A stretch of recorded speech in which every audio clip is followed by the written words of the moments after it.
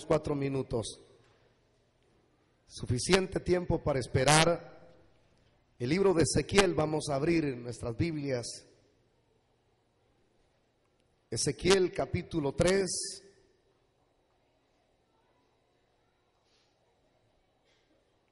Ezequiel capítulo 3, quiero que lea conmigo.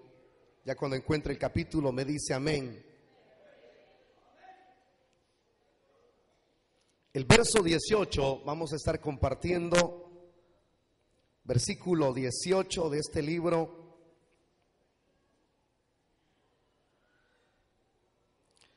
Dice la palabra del Señor de la manera siguiente. ¿Ya lo tiene? Leámoslo entonces. Cuando yo dijere al impío, de cierto morirás, y tú no le amonestares, ni le hablares, para que el impío sea percibido de su mal camino, a fin de que viva, el impío morirá por su maldad, pero su sangre demandaré de tu mano. Versículo 19, pero si tú amonestares al impío y él no se convirtiere de su impiedad y de su mal camino, él morirá por su maldad, pero tú habrás librado tu alma. Tome su asiento si es tan amable, hermano, por favor.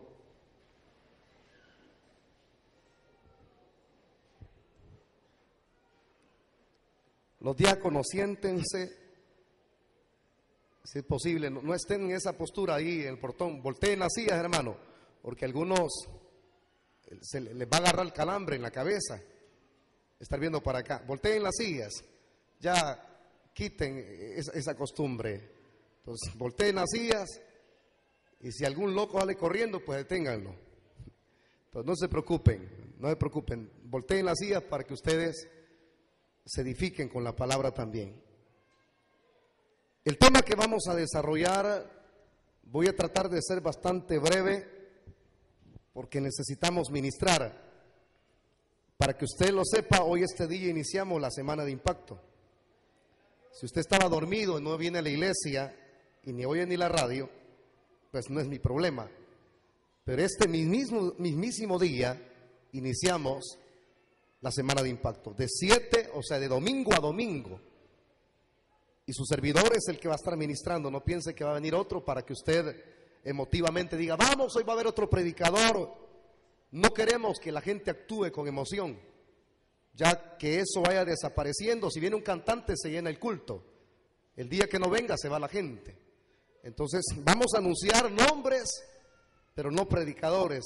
El mejor invitado que tenemos a partir de hoy, que abrimos el telón, se llama Espíritu Santo. Quiero que levante su mano y diga, bienvenido Espíritu Santo. Ok, prepare su corazón entonces. El tema de esta tarde es el siguiente. Hablando con franqueza la verdad de Dios. Repito, hablando con franqueza la verdad de Dios.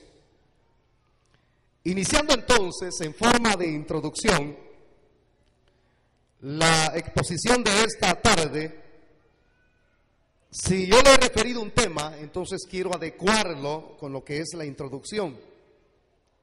Si estamos diciendo que debemos de hablar con franqueza la verdad de Dios, cierren el portón, hermano.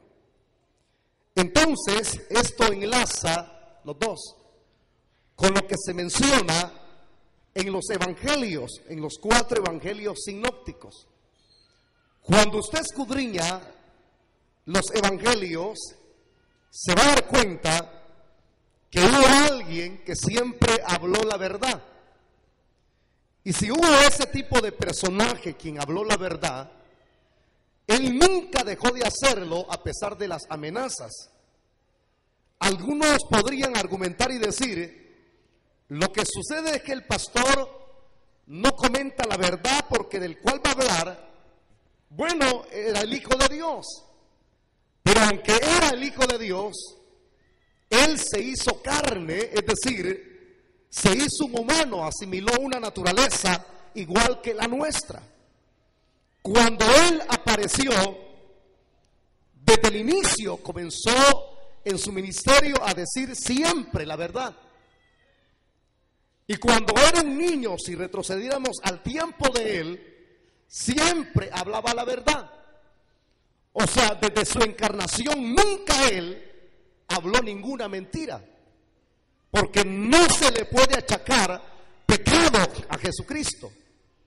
Por eso es que en cierto momento Él dijo estas expresiones y la verdad os hará libres. Y lo dijo hablándolo el, texto ya completito. Si menciona esa expresión y la verdad os hará libres, también mencionó otro texto que dice, si el Hijo os libertare, hablándose respecto a lo que él haría, seréis verdaderamente libres. Ahora, cuando los judíos oían esta verdad, ellos decían, si nosotros no somos esclavos, para que tú nos estés diciendo que necesitamos ser libres, porque ellos entendían literalmente que los únicos que merecían ser libres eran los esclavos.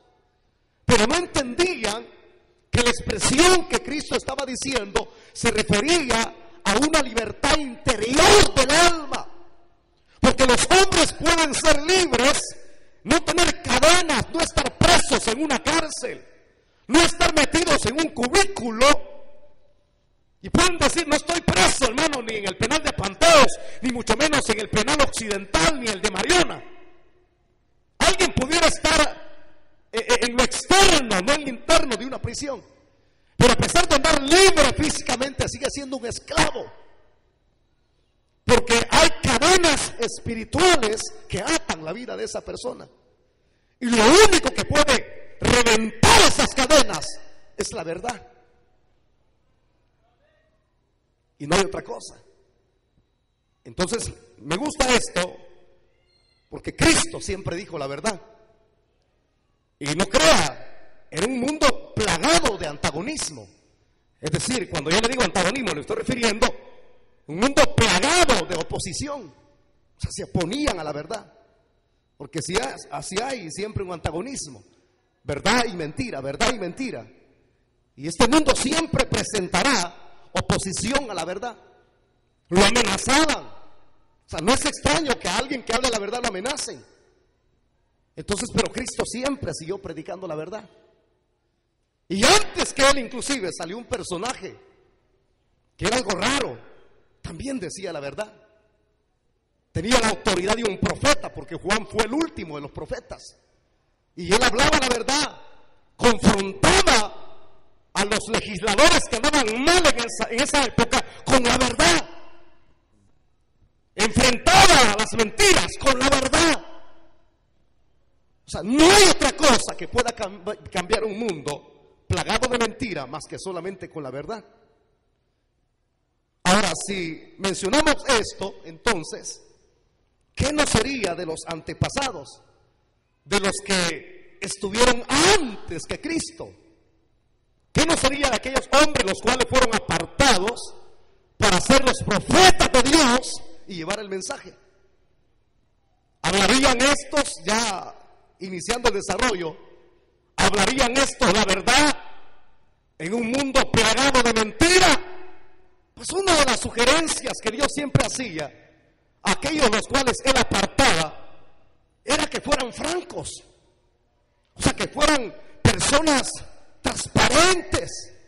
Porque para eso ellos eran apartados. ¿De qué sirve que una persona sea voluble en su carácter y no tenga transparencia y Dios lo aparte y de repente cuando es confrontado y le toque que quizás combatir la mentira y de repente alguien le saque un billete de 100 dólares por ahí, eh, mire, mire, protéjanme, no, no, no vaya a decir nada. Esa persona entonces no es un verdadero, un verdadero hombre llamado por Dios, porque la verdad nunca se compromete, la verdad nunca se vende. La verdad siempre se mantiene patente. Y por eso me cuando Dios llamaba, siempre sugería, tienes que decir la verdad. Pero, pero, pero, pues, ¿qué tal si me matan? Di la verdad. Pero ¿qué tal si me ofrecen dinero? Di la verdad. Si es una buena noticia la que tú me estás mandando, que yo me... Di la verdad, yo te mando.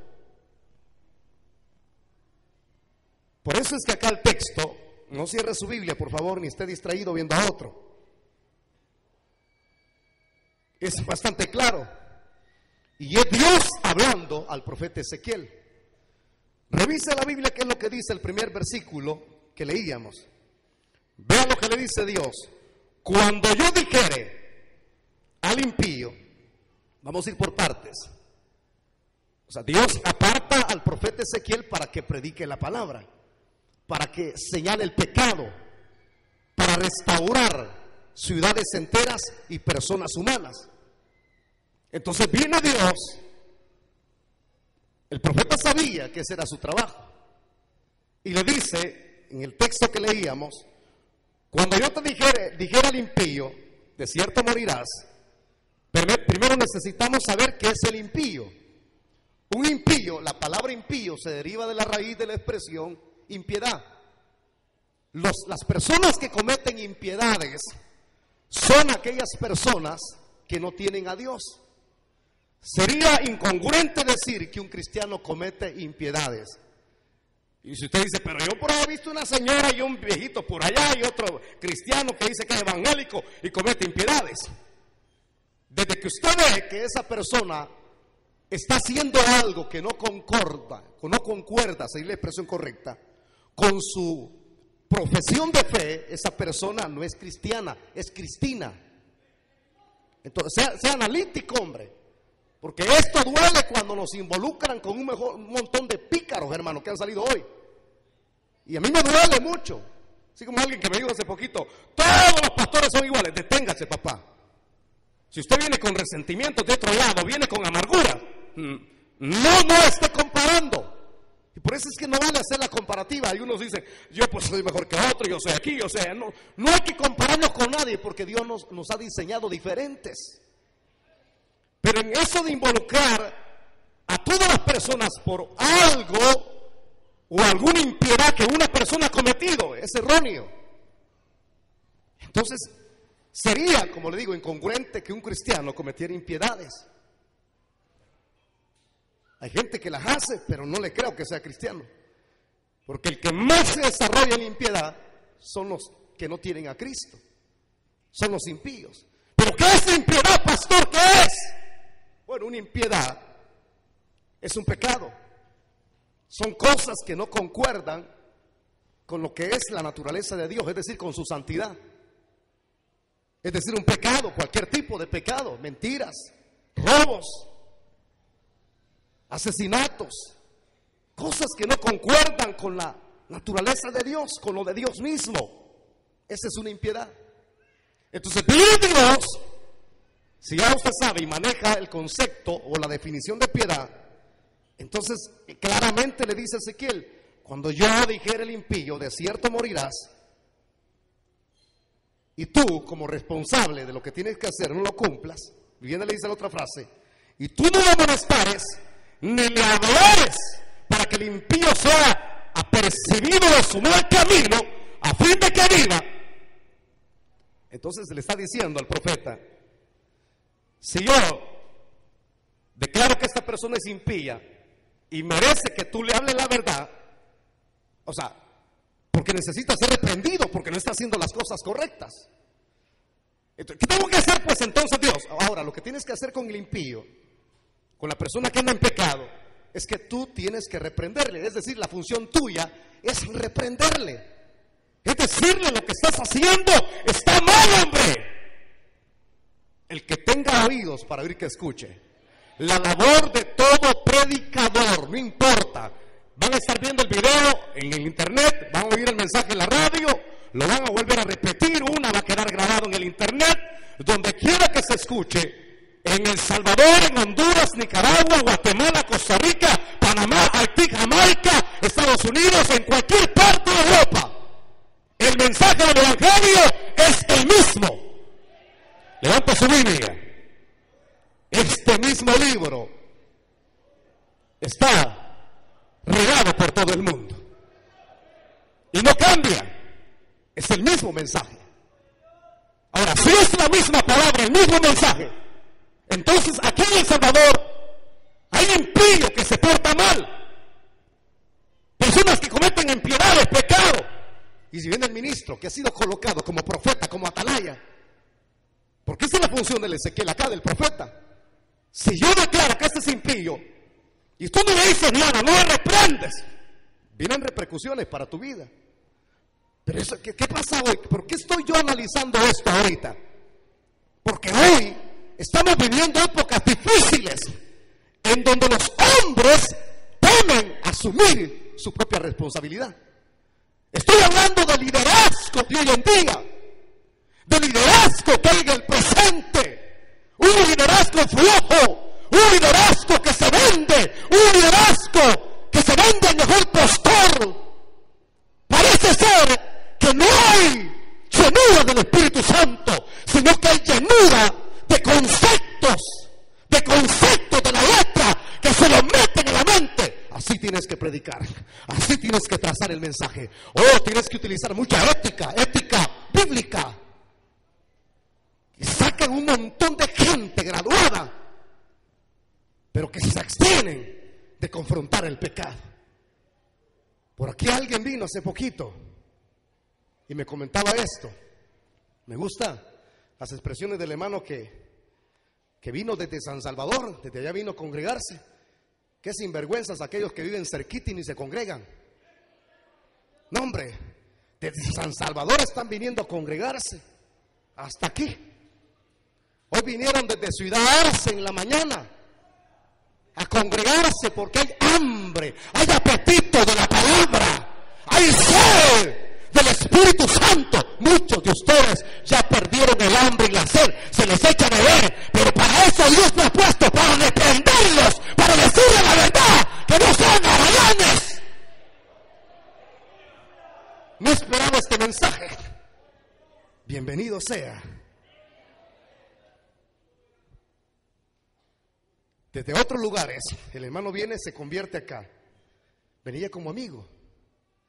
Y cuando viene, después que se convierte, me dijo estas expresiones, hermano, antes de yo venir para acá, encontré un pastor, me dijo. Mira, me dice, ¿para dónde vas? Le digo, ah, voy para allá, para Chachuapa, una iglesia. ¿Y por qué no te congregas aquí conmigo? Le dijo. ¿Sabes? Le dijo, aquí predicamos bonito, le dijo. Bueno, y eso cualquiera lo puede, predicamos bonito, chévere, pues.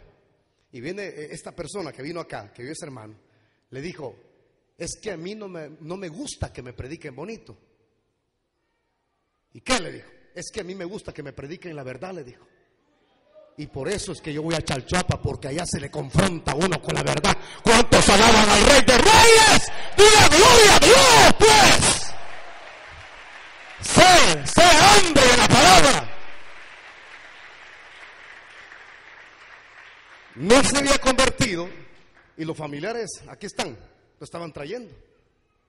Y desde que comenzamos, él comenzó a oír los estudios de Apocalipsis los viernes, la palabra no lo dejó tranquilo. Y no le estoy hablando de una persona, es un funcionario, él trabaja con el gobierno. Es la mano derecha de uno de los diputados. No es que esté haciendo realce, pero desde allá alguien con una, con una posición de tal tipo, otro fuera. No, hombre, ese tipo un gran tosco. ¿Para qué voy a ir malcriado ese negrito? Pero cuando usted sabe en la posición donde Dios lo ha colocado, usted no tiene que vender la palabra con nadie. Su compromiso no es con el hombre. Su compromiso no es con una familia, dos familias. Su compromiso es con Dios. Entonces cuando Dios dice, este es impío, háblale y repréndele, dile que está mal. Pues para eso, amigo, usted ha venido en esta tarde aquí. Lo que usted está haciendo sin Cristo está mal. Lo que usted hace en el mundo es pecado, es pecado, es pecado, es pecado. Ay, para eso me trajeron entonces, para señalarme lo que está mal. Sí, porque esa es la verdad. Esa es la pura verdad. El hombre está muerto en delitos y pecados.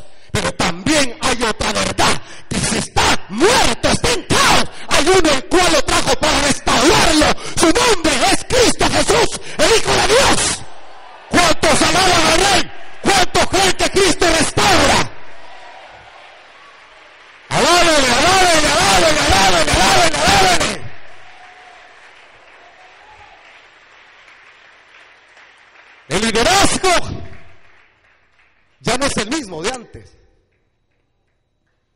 Hoy no. Hay quienes se venden por una libra de frijoles.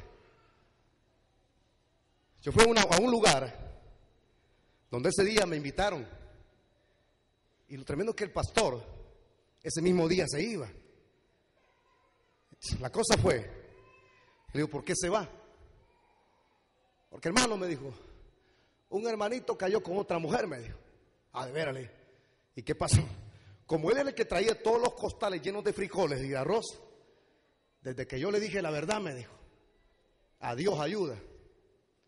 Y vengo yo lo conforté, le dije, hermano, oremos juntos. Y nos, nos arrodillamos los dos.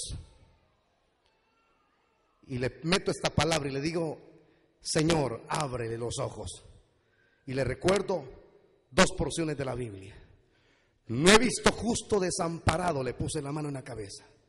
No he visto justo desamparado, ni su simiente que mendigue pan. Y el otro texto que le dice, le dije en el oído a él, le dije, no solamente del pan vivir el hombre, sino de toda palabra que emana de la boca del Señor. Cuando oramos, nos pusimos de pie, me abrazó y me dijo, pastor, ya no me voy, me dijo. ¿Por qué? Le dije. Porque yo no dependo de ese viejo, me dijo, ni de los frijoles de él, me dijo. Y de aquí en adelante me voy a amarrar bien el pantalón, me dijo. Porque estos tienen que saber, me dijo, que aquí está la crema y la nata del que Dios ha puesto aquí en este cantón, me dijo. Qué lindo es cuando Dios lo pone a uno para hablar la verdad. Porque no es la tortilla, no es el frijol, no es el arroz lo que va a comprar a un verdadero ministro. Oh, el que ha puesto a un verdadero ministro, el ministro que Dios ha colocado es como una atalaya. Hay que hablar la verdad, hay que decirle este mundo estás hundido, hay que decirle necesitas a Cristo. Pero si yo no digo la verdad, ¿qué pasa? Lea lo otro que dice ahí en el verso 19. Léalo, ya lo tiene. Y si tú no lo amonestares, ni le hablares, como diciendo la verdad, para que el impío sea percibido de su mal camino, a fin de que viva, entonces viene la repercusión si no lo hace, si no le dice la verdad. El impío morirá por su maldad, pero su sangre demandaré de tu mano. Oh ministros, pastores, colegas, conciertos, es una grande responsabilidad la que vamos a tener cuando estemos de cara con Dios. Esto no es cualquier cosa para aquellos que estén pensando, es chivo ser pastor, usted que bendecido. Y ponen un su pequeño tallerecito, ahí uno saca un montón de carros viejos y de motos. Vamos a abrir aquí una obra, vamos a ver, y, y dividen, hermano, parten el cuerpo de Cristo, se van por cualquier cosa, por tratar de abrir y competir. La obra no es competencia. Y se sienten ya que la ponen todo y se van. Y se lleva un montón de gente arrastrándola a la desgracia. Y no hay ningún alimento espiritual, hijos, pastores que me oyen. Se la van a ver de cara con Dios un día. Porque eso no es estar, hermano, como negociando con papas y tomates o whiskyes. Estamos trabajando con almas eternas y por eso es que Dios va a pedir cuenta, Dios va a juzgar a cada ministro, Dios va a juzgar a cada pastor por lo que está haciendo. Porque son los atalayas. Y directamente Dios le dice al profeta, si tú no le apercibes y el impío muere por su pecado, por su maldad, entonces Ezequiel, mira lo que te voy a decir, yo demandaré de tu mano la sangre de ellos. Yo me la voy a dar contigo. Por eso es que cuando uno lee esto, óigame bien, siéntense hombre. Cuando uno no entiende la porción bíblica, uno cree que ser pastor es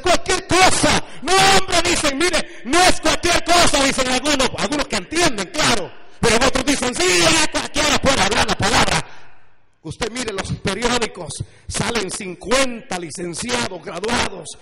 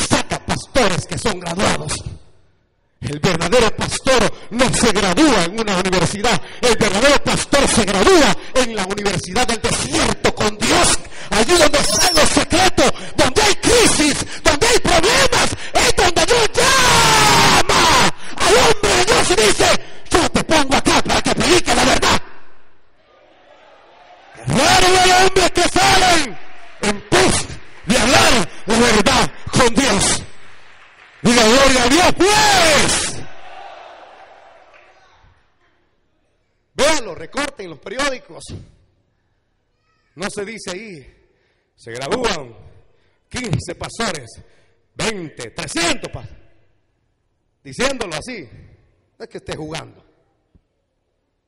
Hoy están en extinción, hermano. Los verdaderos ministros de Dios. Sí, sí, se están acabando usted. Hoy casi no hay evangelistas. ¿Por qué? Porque hay un montón de gente tacaña que los invita y un dólar le dan para el pasaje. La gente no entiende, hombres que no valoran lo de Dios, hombres que no valoran a los verdaderos siervos de Dios. Esto no es de cualquiera, que es del grito y eso va. No, si conozco, usted conoce un montón de bayuncos y payasos. Esos no son pastores, esos son marionetas, payasos de circo, circenses que tienen un título, un carnet de teología, pero nada saben. El verdadero hombre de Dios es aquel que recibe de arriba la autoridad de Dios. Por eso es que Cristo dijo las siguientes palabras, y recibiréis poder cuando haya venido sobre vosotros el Espíritu Santo. Por eso es que en este lugar hay poder de Dios acá. ¡Hay poder de Dios!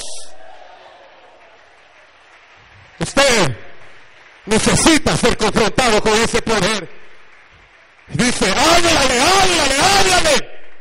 Dile a la mujer que está con dos maridos que deje los dos maridos y se case con uno. Que si hay alguien aquí que tiene colección de maridos, hija, cásese, hombre. Si está en fornicación, cásese. Si está en adulterio, deje el adulterio. Si usted está en malos pasos, deje los malos pasos. ¿Y quién me ha de comer? Pues a mí. El mismo que me da de hartar a mí también. Ah, el mismo que le da de hartar a este montón de gente, más de mil personas. Díganme ustedes cuándo han aguantado hambre. Ah, si más de alguien aquí, aunque sea una sopa de chipilín, se ha tragado. ¿Por qué? Porque joven fui y he envejecido. Y no he visto justo ni su simiente que mendigue pan. ¿A cuánto les provee el Señor acá? Cualquiera puede argumentar, mire cómo está el país. Y es cierto, aquí es que rico, se vuelve más rico. Hay una gran injusticia social. Cáenme bien, ustedes se la van a ver de palitos ricos pagándole una miseria a la gente. Sangones, Dráculas. Hay que hablar la verdad. Pero pastor ya se está metiendo en lío. ¿Qué importa?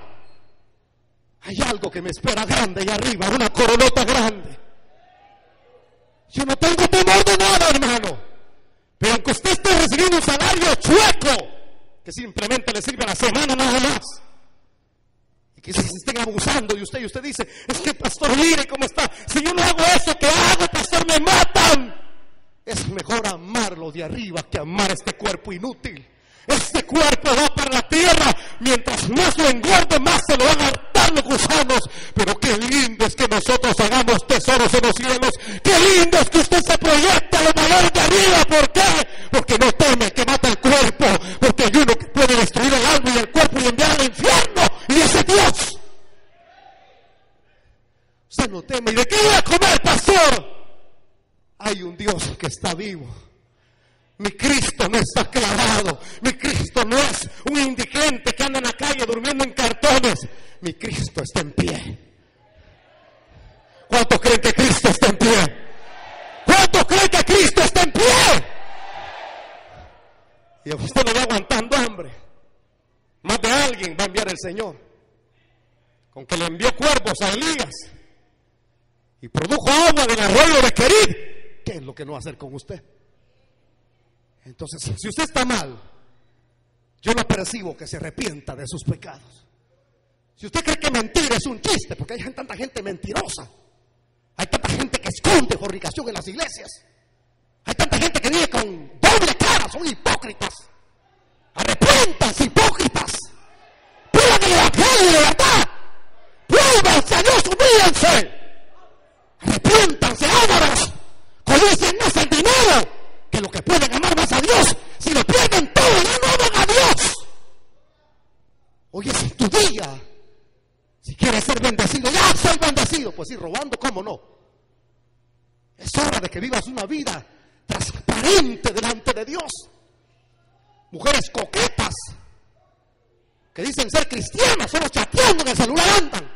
Arrepiéntanse. Vuélvanse a Dios. También viejos coquetos. Con doble vida. Vuélvanse a Dios. Cristo está a las puertas. El santo de santos viene iglesia sin mancha y sin arruga. Cipotillas que vienen a buscar marido.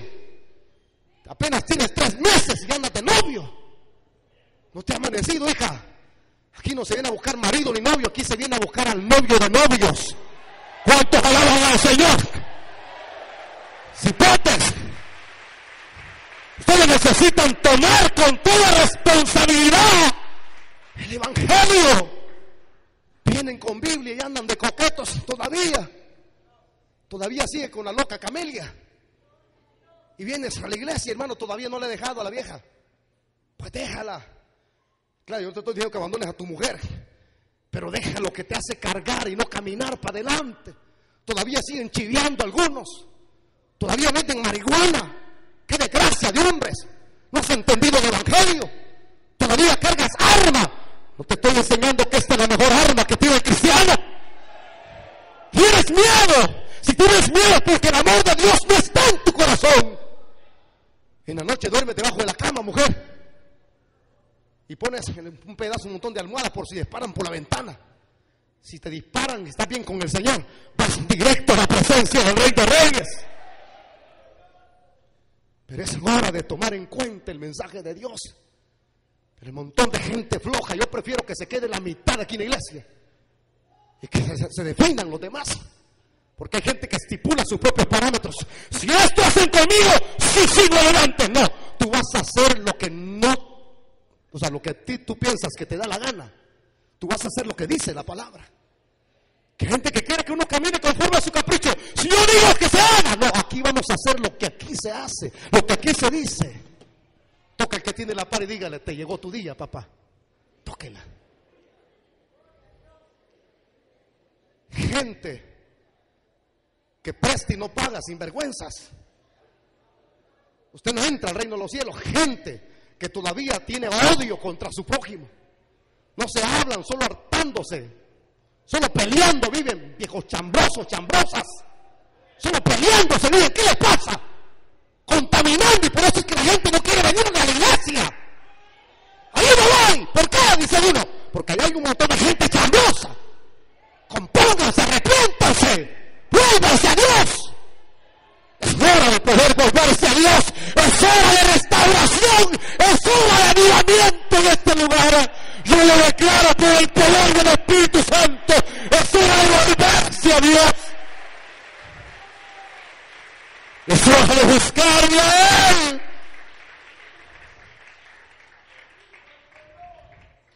Y dice el verso 18, si Ezequiel entiende su papel, como yo lo he entendido, ¿qué me importa si usted no se acerca cuando yo pida dólares? No importa si usted, ay, hoy si me dio el Manuel, ven a mí. No importa. A mí Dios me bendice. A mí Dios me bendice. Yo no tengo nada de qué quejarme contra Dios. Él me lo ha dicho a mí en las olas cuando estoy. Mientras te mantengas en mi verdad, mientras te mantengas así como te tengo, no te faltará nada. Y el que me lo ha dicho es fiel, porque el que promete lo cumple, hermano. Ezequiel se para bien. Y dice el verso 19, pero si tú actúas amonestando al impío, y él no se convirtiere de su impiedad y de su mal camino, entonces aquí ya hay una responsabilidad del impío, porque viene ese que le dice, mira, tú andas mal, hombre. Porque hay gente que entre nosotros sabemos que anda mal. Hay tipos que aquí que algunos son líderes y andan con otra mujer en la calle. ¿Qué le pasa a usted, hombre? Mira más bonita la otra porque no cuida a su vieja, hombre. Cómprele zapatos bonitos. Peínela, hombre. Quítele los piojos que tiene la vieja. Allá miran a la más hipota que va viniendo aquí a la iglesia. La voy a dejar, hermana. Ellos se ofrecen, metidos. Párese bien, hombre. Pero lo da bien. Y vaya. Y díganle, no, gracias. No te voy a dejar. Yo tengo mi esposa. Pero andan ofreciendo, hasta el carro ofrecen ustedes para ir a dejar a todas las hermanas jóvenes. Y con la última se queda. Se va a bajar, hermana. No es que quiero hablar con usted en secretito. Eso no es así, uno tiene que ser prudente. Tiene que aplicar sabiduría. Usted no tiene nada por qué quedarse a las 10 de la noche en esa casa. A mí no me ha dicho nadie, es Dios el que me ha hablado. Este mensaje vas a llevar a la iglesia y vas a comenzar con la semana de impacto. Impáctalos y el que se quede, se queda. Y el que se va, que se vaya. Esta es la semana de impacto. Esta es la semana de impacto para usted. Para usted. Porque la iglesia necesita despertar de su sueño. usted quien tiene que despertar. ¿Qué, ¿Qué, diablo se queda usted en la, en la reunión ahí? Es que platicando hasta las 11. Váyase a la casa a dormir, cipote, hombre. Vaya a orar, no pierda su tiempo. Usted, señorita, si dice ser una doncella decente, ¿usted qué tiene que estar haciendo en la calle con el cipote? En oscuro. Ay, es que me agrada verle los dientes pelados. El que es hijo de Dios se cuida. El que es hijo de Dios se cuida. El que es hijo de Dios se cuida. ¿Ah? Como usted le abre la puerta al diablo, a todas horas recibe visita sabiendo que el hombre tiene marido y coqueteando con él. Perdón, no es homosexual, vea. Bueno, si es homosexual, bien le cae bien. Sabiendo que el hombre tiene mujer, sería la palabra. Ustedes se equivocaron, hombre. ¿Qué me están viendo, mí? Andan, no es que está a punto de dejarla. Y al otro, defínanse hoy, papá. Andan con mujeres impías. ¿Amas a Dios o qué? Mejor abandona la Biblia, no la cargues y conviértete. Es que estoy preparando terreno. Ya te están preparando terreno en el cementerio de Chalchuapa aquí. Porque la muerte le espera a alguien que juega con Dios. Muchachitas, todavía vienen aquí a la iglesia y con el novio impío. Defínete. Si ya no regresas, no hay problema, hija. Pero hoy tienes que convertirte de verdad aquí. Entonces, si amonestas al impío, si lo amonestares, pero el impío no se convierte de su impiedad y de su mal camino, dice, él morirá por su maldad, pero tú habrás librado tu alma. Esto no es fácil, hermano. Muchas, muchas veces uno, fíjense que cuando yo comencé aquí la iglesia, la hermana Corina se recordará, ellos son la familia López, que estuvieron conmigo desde el principio, y algo otros más. Éramos unos poquitos, ya va a salir la historia, la verdadera historia en internet, ya va a salir. Vamos a tardar cuatro horas en establecer verdaderamente. Hubo alguien que se vendió porque otro le compró un montón, ¿qué? Equipo de sonido, una batería. Pues yo por el amor que le sentí, por no perder, porque éramos como unos 35 más o menos, ahí andábamos. Al menos lo reuníamos unos 15 el día lunes. El martes llegaban unos 35 o 40. Pues se me fueron una familia entera y yo lo visité y le digo yo, ¿por qué se fue, varón? Yo lo amo mucho a usted. Usted es uno de los líderes de la iglesia. Mire, hermano, me dijo, yo me fui de la iglesia porque usted nunca me compró una batería de, tocar, me dijo, de estas. ¿Y cómo iba a comprar batería yo si la ofrenda de la semana eran 25 pesos? Eso recogíamos, 100 al mes, más el fondo que me dejó un hermano, porque cuando yo vine me dejaron un fondo de un billete de a 100, pero falso. El hermano Ulises se recordará que esto es cierto, va a salir en la historia. Ese era el fondo que había aquí. Y el otro fondo de gente de que ni se congregaba, hermano. Pues le dije yo, qué lástima, porque usted se vendió por una simple batería. No, es que me dice, usted sabe, me dice que hay que valorar lo material, lo recombine. Y le dije, lo material pasa, pero lo del Señor permanece para siempre. No es fácil. Por eso es que hay muchos que se atienden, es que si hablo fuerte, es que si predico la verdad, la gente se me la ve. El que de Dios se queda. El que es de Dios se queda. Dios se queda acá. El que de Dios ama la palabra. ¿Cuántos aman esta palabra que verdad? Se queda.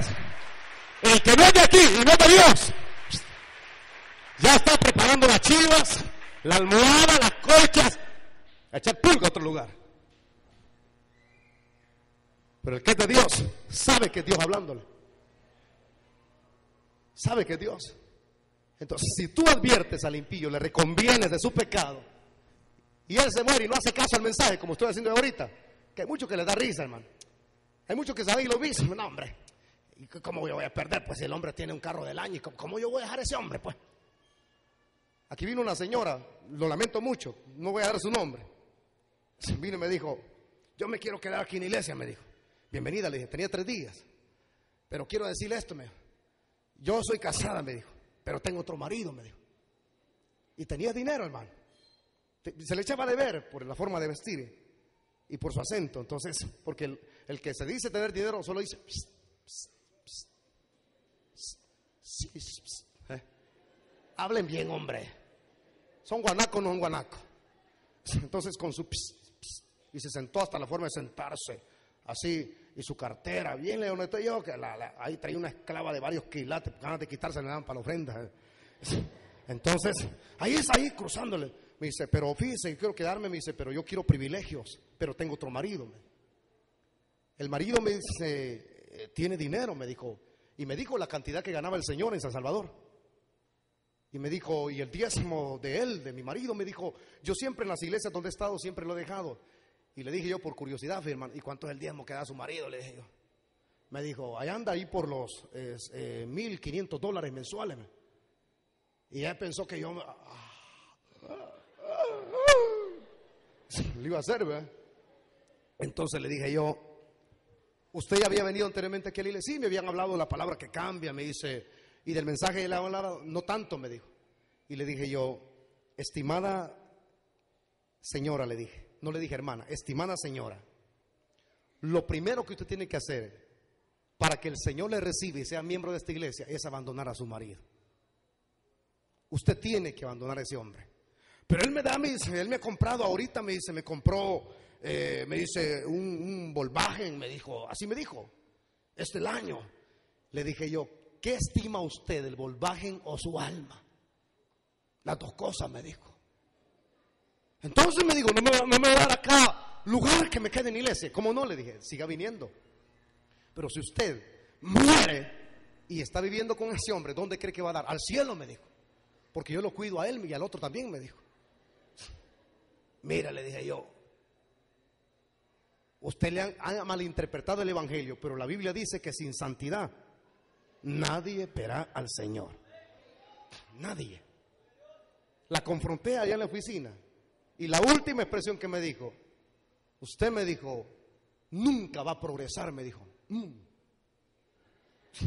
Salió brava, hermano. Salió enojada. Pues yo me quedé con eso pensando, dije yo, dice que nunca voy a progresar si yo tengo al más rico de ricos. ¿Ah? ¿Ah? Si la Biblia dice que lo honra a los que lo honran. Si usted honra a Dios y se para bien y le dice pecado, ya no quiero, ya no te quiero más tentación si usted se para bien, no le va a faltar nada. Por eso que le reconvengo en esta tarde diciéndole, vuelva hacia Dios. Usted que necesita reconciliarse, usted que es amigo, vuelva hacia Dios. Jovencito, señor, caballero, vuelva hacia Dios. Y le garantizo que si usted se vuelve, restauración hay en esta tarde. Ahora, si usted dice, ah, yo no creo en eso, hombre, yo me voy a ir, no, hijo, para mi casa. Si usted se muere, Dios ya no me va a demandar su sangre. Cuando esté en el infierno, zancochándose en el Hades, la antesala del infierno, porque antes de pasar al infierno, usted tiene que estar abajo en el centro de la tierra, en la antesala, que llama Hades. Allá va a estar gritando, ¡Hermano Wilmer! ¡Ah! Vea que son más bonitos los gritos del infierno mío que los de allá. ¡Ay, hermano Wilmer! Hoy es el día. Ya no hay retroceso cuando uno va para ahí. Eso es duro, hermano. Levantando un joven que lo acababan de asesinar, le pusimos la mano y todavía diciéndole, hijo, ¿querés aceptar a Cristo? Y él decía, hermano, con un montón de sangre en la boca, ya no podía hablar y los ojos blancos. Y yo le dije al hermano, está aceptando a Cristo y me apretó la mano como diciéndome, y le dije yo, si estás aceptando a Cristo, apriétame la mano y me la apretó. Pero horrible tener a alguien abrazado muriéndose porque saber que veía. Y cuando cada vez que le hacía la cabeza así, yo le dije, hermano, ganamos un alma y murió. Y lo abracé y dije, te me adelantaste, papito, al mejor lugar donde yo te voy a seguir un día. Pero aceptó a Cristo. Se fue con el Señor. Ahora usted no tiene sangre en la boca ni se está muriendo. Usted está en pie, está vivo, está bien físicamente. Yo le reconvengo, vuélvase a Cristo. Deje el pecado, hombre, tan impregnado que está de él. No, hombre, deje de fornicar, déjese de cuentos. ¿Quién me ha prometido, hermano, casarse conmigo? Cuentecito que le metieron una niña en una iglesia donde yo a predicar. El pastor tuvo la culpa. La niña, el pastor le metió. Cásese con él, como aquí vive en el cantón, cásese con él. Y tan bonito que dirigía en las campañas, hermano. Y viene el tipo desde allá, un chelón con ojos, ojos así, rosados. Que la pantera rosa era. Y venía ahí con ojos rosados. Y los casa, la presentación, claro, ese no es la propia, el propio casamiento, es la presentación. Lo casaron a lo civil y hicieron la presentación. A los cuatro días me cuentan que el tipo ese es homosexual. Y la niña ya sabía. Vendió toda su primogenitura, su primer lugar de bendición. De las bendiciones de Dios, la vende por una residencia en los Estados Unidos. Yo me pregunto cómo le estará yendo con ese homosexual. Le garantizo, como dicen que es dueño de un burdel, que ya la vendió a prostitución. Que ella emocionada. Voy para Beverly Hill. Yo voy para un lugar mejor. ¿Ah? ¿Para dónde va usted? Tiene residencia en Guatemala, pastor. Yo voy para un lugar mejor que el suyo. Voy a ir cerquita a la playa, que es el arte en los tiburones. Voy para Ahí están matando los zetas a los turistas. Mejor váyase para un lugar, hombre, donde no le cuesta. Simplemente arrepiéntase, conviértase a Cristo, humíllese, camine de acuerdo a la palabra de Dios. Aquí no estamos poniendo carga. ¿Qué pensó que le iba a decir? Ahorita mismo le pongo este bafle, uno de esos, y se va a pie hasta Quipura. Sencillo. Acepte a Cristo y nueva criatura serás. Pero si usted va a lo mismo y, así como entró, no quiero nada. Ay, qué pastor más mal educado. Yo lo siento mucho. Pero debemos de hablar el Evangelio con toda franqueza. ¿Por qué crees que se lo demandó a Jonás? Vas a llevar un mensaje, le dijo. Le vas a decir a los ninivitas que en 40 días yo los voy a matar. Y vino el profeta orgulloso. Yo no voy a ir, dijo. Yo mejor voy a huir porque quiero ver a los muertos, que los maten. Y yo le digo, tienes que ir a Nínive y agarra un barco para Tarsis. Allá se lo tragó una ballena y lo expulsó en el mar, a la orilla del mar. Y allá todo babiado. De aquí a 40 días, Nínive será destruida. El mensaje serio y franco de la palabra se dice quien sea. Dio resultado. Dio resultado el mensaje de Jonás. Desde el rey, desde el rey hasta el plebeyo, que estaba en, su, en, la, servidumbre de su palacio, hasta los animales los hicieron ayunar. Porque todo ese montón de personas se arrepintieron. Y ahora el mensaje que le traemos toda la semana va a ser de bendición. Impacto. La iglesia tiene que despertar. Con el estilo de vida que muchos llevan, aunque con la mantelina, usted no entra al cielo. Si usted no abandona el odio que tiene, el chambre que tiene impregnado, hasta los ojos lo irradia. Usted no irradia la gloria, usted irradia demonios. Usted no entra al cielo. Lo siento mucho, pero un día se va a acordar de este mensaje. Cuando estemos en el cielo me va a decir, Pastor Wilber, lo felicito porque me habló francamente. Pues así lo voy a hacer siempre, fíjese. Así lo voy a hacer siempre, hermano. Y hoy en esta hora, para abrir semana de impacto, Él va a lanzar su atarraya. Cierren el portón todo, hermano. Cierre sus ojitos. Cierre sus ojos, por favor. Pónganse de pie las personas que le van a dar su vida a Cristo por primera vez. Tengo cuatro minutos. Pónganse sobre sus pies las personas que han oído la palabra y necesitan volverse a Dios. Camina el primer minuto. Pónganse de pie los que le van a rendir por primera vez su vida a Cristo en esta hora. Ahí donde está, pida permiso y camínese aquí al frente. Tres minutos quedan. ¿Hay alguien en esta tarde que le va a rendir su vida a Cristo por primera vez? Póngase de pie. Si usted necesita dejar el pecado, ahora es el momento. Usted dice, tan rico que es el pecado, morirá en el pecado y se condenará. Le estoy diciendo esto. El tiempo es corto para usted. Algunos de los que estamos aquí nos queda quizás dos meses de vida. Al otro le queda una semana, al otro le queda horas. Usted tiene que volverse al Señor. Vuelvo a repetir la invitación. Pónganse de pie las personas que le van a rendir por primera vez su vida a Cristo. Levántense de sus asientos. No importa su edad, no importa su estrato social, quien sea usted. ¿Hay alguna persona? ¿Hay alguien que hoy se vuelve a Dios? Dos minutos. Si tan solamente uno pasa, usted será el bendecido. Vuelvo a repetir, si hubiera alguien, póngase de pie. Ahora, la segunda invitación, porque voy a ser firme y concreto en las dos invitaciones. El mensaje ha sido dado. Si usted no corresponde y se va al mismo, usted no va a demandarme a mí su sangre. Usted morirá en sus pecados y yo quedo libre, porque le he hablado francamente la verdad de Dios. Los que necesitan reconciliarse, ya deje de seguir escondiendo su pecado, mamita. Y no importa quién sea usted.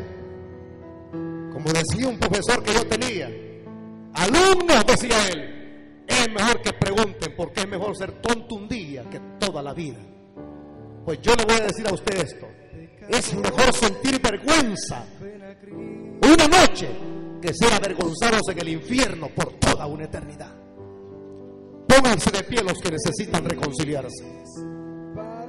Los que van a reconciliarse, pónganse de pie. Los que van a reconciliarse, pónganse de pie. Levántese. Usted dice, pero pastor, no dejes de cuentos. Usted a la vida, usted necesita volverse a Dios. Y máximo si se llama ser líder. Máximo si lee la palabra. Dios bendiga al joven que viene acá adelante. Usted necesita volverse a Dios. Dios bendiga al otro caballero. Ya no siga llorando, joven vida, hombre. ¿Usted cree que es el evangelio juego? No. Aquí se ha equivocado. Aquí no hay iglesia católica. Es casa de Dios. Aquí es puerta del cielo. Usted necesita volverse a Dios. Le quedan horas, mamita. Minutos le quedan. Que mañana va a ir en el bus. Se murió sin el Señor. Porque estaba en pecado. Una mantelita no le asegura el cielo. Una Biblia en la mano no le asegura el cielo. Ropa que tiene no le cielo.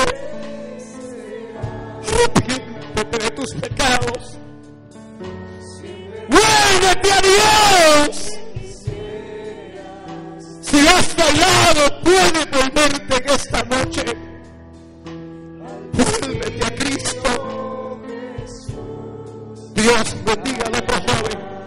¿Quién más?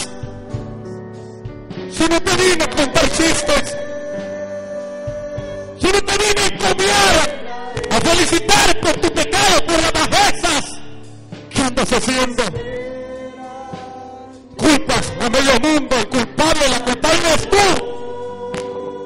Estás solo, abandonado, abandonada. Tipo de estilo de vida que lloras. Termino ya y cuento hasta cinco. Aquí es el fruto de lo que Dios a hacer. Esta sí es más de impacto. El diario no sabía cuál era la temática.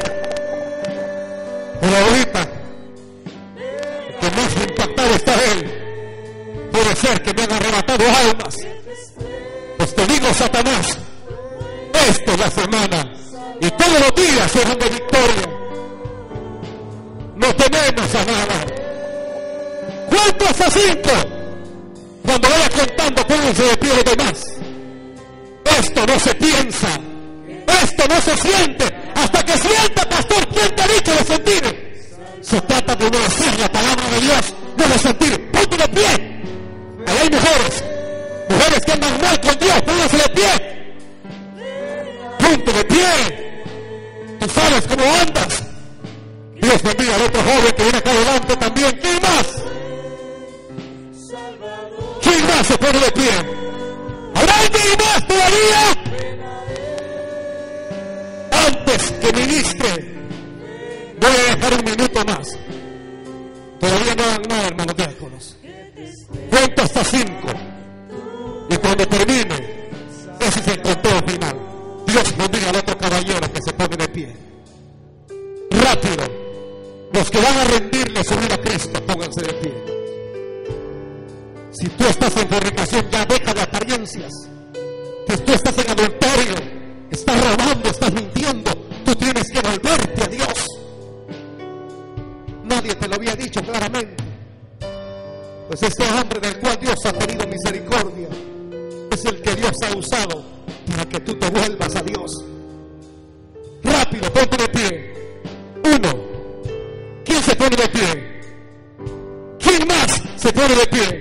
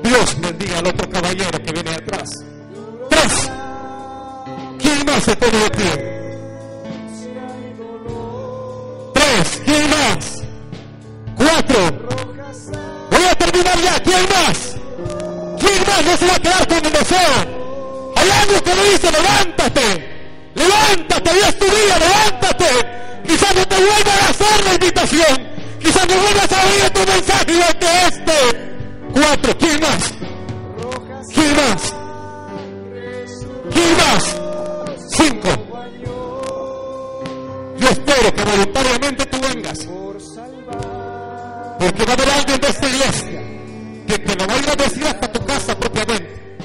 Y va a ser mayor la vergüenza. Lo que se hace en oculto se gritará de las terrazas. ¿Por qué no sensibilizas tu corazón?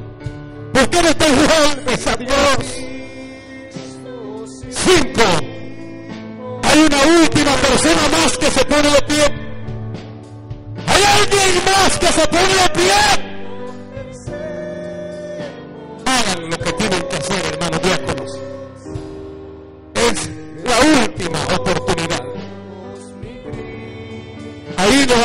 inventar a usted. No forzar. Aquí no se fuerza nadie. Simplemente se le dice, tienes que aceptar a Cristo. ¿Habrá alguien más? ¿Habrá alguien más que se pone de pie?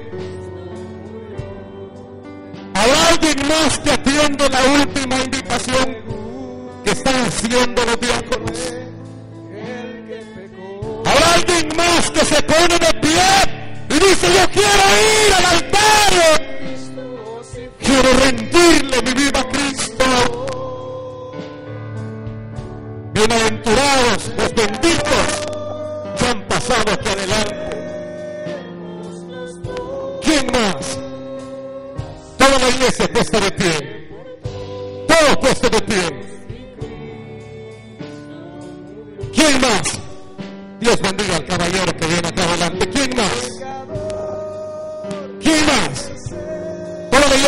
sus manos.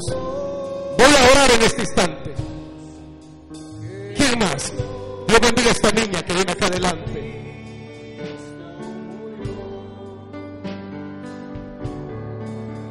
Ven a